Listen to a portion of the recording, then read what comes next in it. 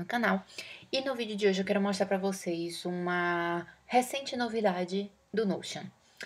Faz algumas semanas eles lançaram um bloco novo que você pode usar no Notion. Então, tô aqui com o meu Notion aberto e vou mostrar para vocês que bloco novo é esse. Eu já tô usando esse bloco novo, ó.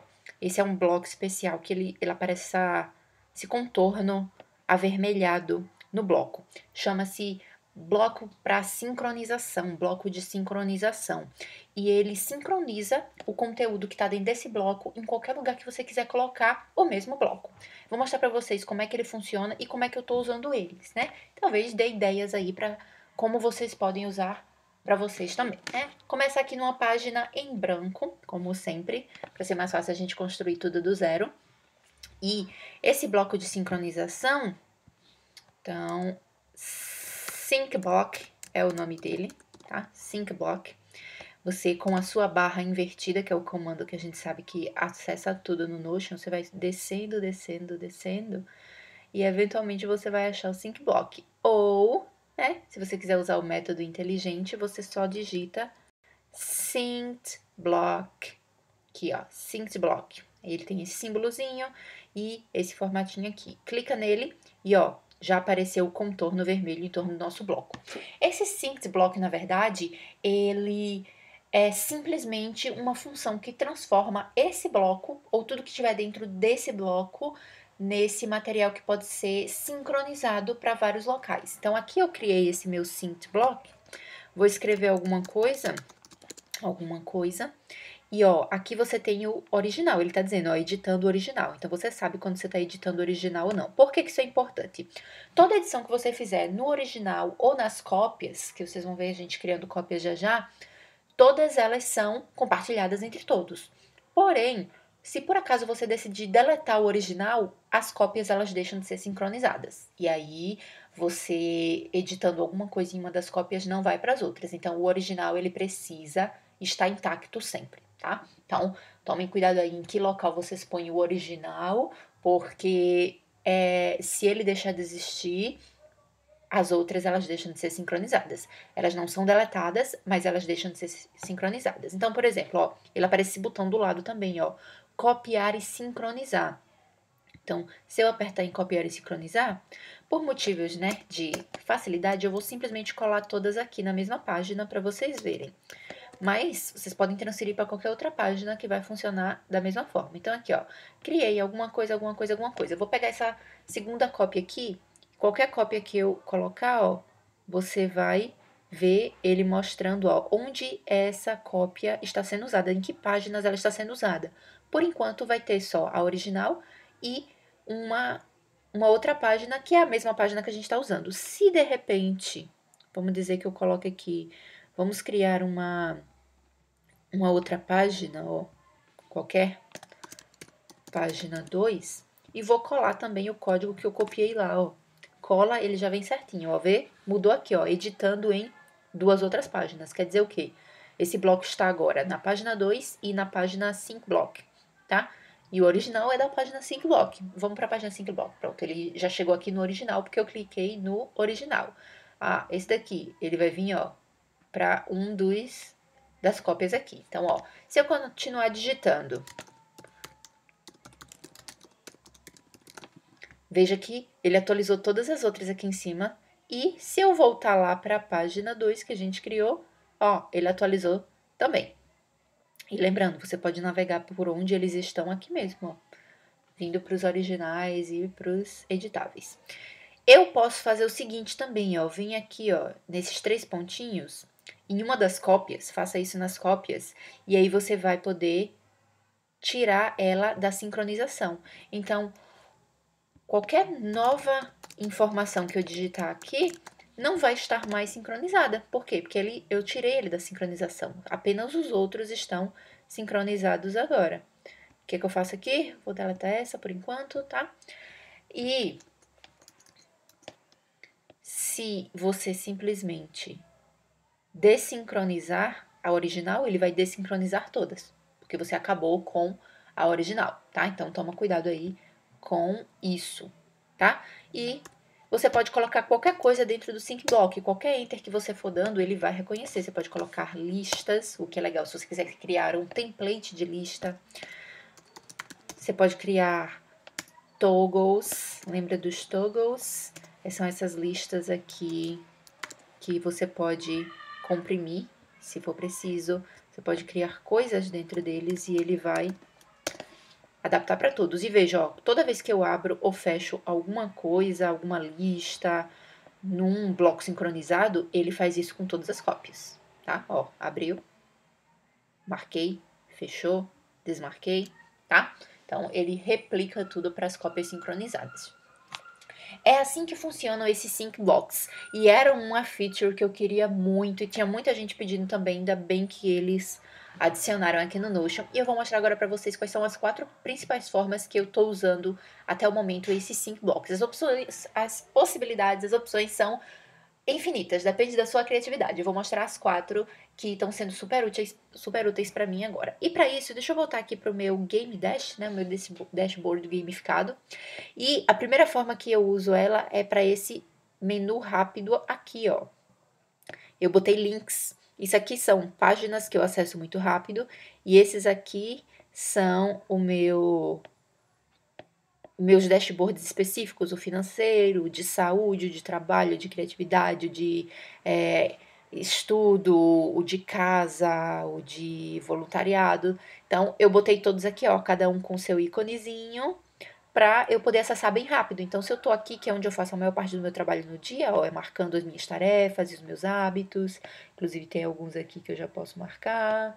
Mas, enfim, a gente faz isso depois. É, quando eu estou por aqui, eu quero ter acesso rápido àquilo, sem ter que rolar lá para baixo. Então eu posso ter isso nesse menu aqui. E tinha meio que um macete para você fazer isso antes, mas com esse bloco sincronizado é muito melhor. Porque qualquer coisa que eu adicionar aqui já vai direto para ele, eu não preciso ficar copiando códigos, enfim. Tinha um macete que era bem complexozinho antes para fazer isso, eu tinha, mas muito melhor agora. E aí, essa é uma das formas que eu estou usando, como um menu de links. Então, em qualquer lugar que eu quiser botar esse menu de links, por exemplo, eu posso vir aqui, ó, no meu dashboard pessoal e eu tenho, ó, esse mesmo menu. Eu tenho ele em todas as partes, ou seja, eu posso acessar tudo de todos os lugares e voltar para onde eu estava, enfim, fica muito mais fácil a minha navegação.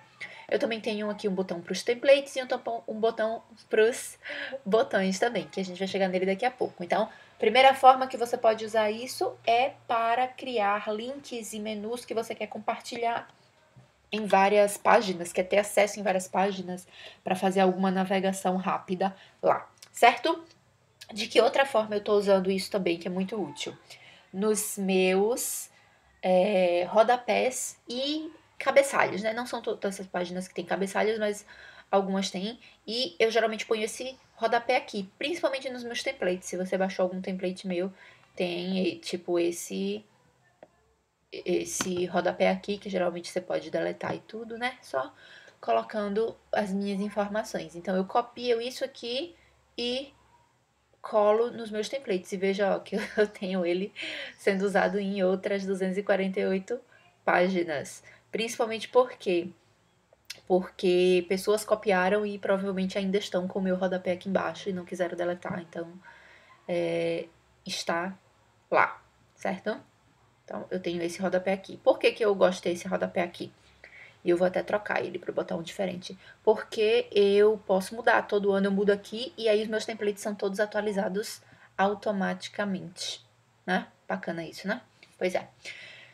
Pronto, então tenho isso aqui. E o que mais?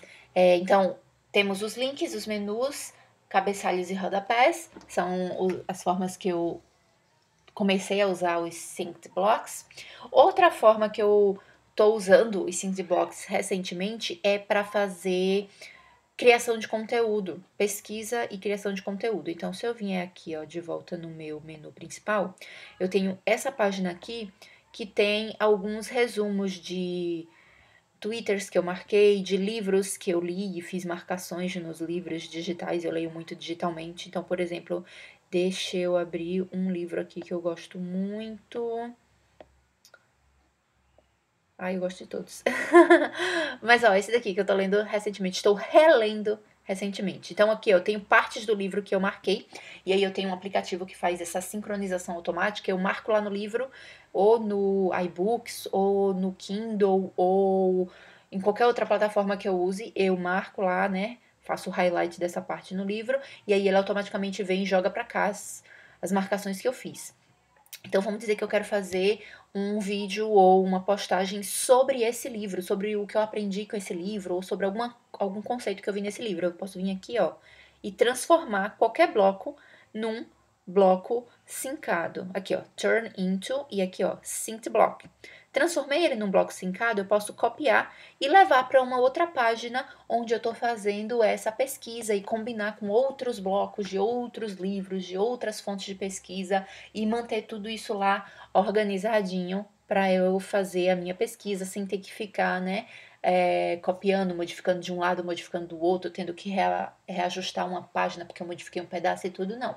O meu sync block está lá e eu sei exatamente da onde eu tirei aquela referência, eu posso voltar. Então, se de repente, né, botei lá e aí eu quero, ah, não, onde é que foi que eu coloquei isso? Posso vir aqui pegar a página original e voltar e descobrir de que livro foi que eu tirei essa referência. Por enquanto eu vou deletar isso aqui porque, né, não vou fazer uma pesquisa sobre isso agora. Então, para fazer anotações e pesquisas e referências bibliográficas, ótimo o SyncBlock. Inclusive, é, dei um, um, treinamento recentemente e uns estudantes estão usando isso para fazer as pesquisas dele de, de universidade para ter referências lá certinho no meio do texto. E aí eles estão usando o SyncBlock no Notion é ótimo. E a outra forma que eu tenho de fazer isso, que eu amo, é aqui, eu vou na minha página inbox. E a minha página inbox é simplesmente uma repetição do meu banco de tarefas, só que filtrado para mostrar só o que tem a marcação de inbox. Eu fiz recentemente, né? Hoje mais cedo, a minha revisão semanal, então não tem nenhuma tarefa aqui. Mas vamos dizer que eu esteja fazendo a minha revisão semanal e aí, ó, eu tenho tarefas que eu faço semanalmente, mensalmente. Aí na minha revisão semanal eu tenho esses botões aqui. Vou criar, ó, minha revisão, minha revisão mensal, não? Então, vou criar minha revisão mensal, eu tenho que adicionar o meu calendário. Então, vou só pegar, ó, apertei o meu botão e ele gerou minhas tarefas, elas estão pré-prontas, é assim que eu faço recorrência. Podem voltar lá no meu, meu vídeo de recorrência para ver como é que eu faço a recorrência de tarefas. E aí, ó, já criei as minhas tarefas, joguei elas para cá. Então, esses botões eu fiz um formato sincronizado para sempre deixar eles aqui. E aí, quando eu preciso, eu simplesmente aperto o botão, crio minhas tarefas e jogo para cá. Outro lugar em que eu vou colocar esse esse bloco sincronizado, por exemplo, eu posso colocar aqui, ó, diretamente na minha no meu Game Dash. Eu posso vir aqui e deixar esse bloco já por aqui, se eu quiser adicionar diretamente alguma tarefa. Por exemplo, vamos dizer, as tarefas diárias. Em vez de eu ir lá para o inbox, eu quero adicionar diretamente daqui, venho e jogo elas para cá. Então, posso ter isso aí também. Né? Massa demais. Então, essas são as quatro formas que eu uso o Synced Block. Primeira forma foi o quê? Para links e menus. Segunda forma, para cabeçalhos e rodapés. Terceira forma, para notas de referência, pesquisa. E a quarta forma, para botões ou templates que eu quero ter disponível em várias páginas. Que, é que vocês acharam do Synced Block? É ótimo, né? Vai facilitar a vida em um monte de coisa aqui no Notion. Usem ele, e me digam quais são as ideias de vocês para usar o Synced Block. Comenta aí embaixo para eu saber. Às vezes vocês têm uma ideia muito bacana que eu posso usar nas minhas, nas meus dashboards também. Esse era o nosso conteúdo do vídeo de hoje. Eu espero que vocês tenham gostado. Deixem um like se gostaram, comentem, compartilhem. Eu vejo vocês no nosso próximo vídeo. E até lá, mantenham-se criativos.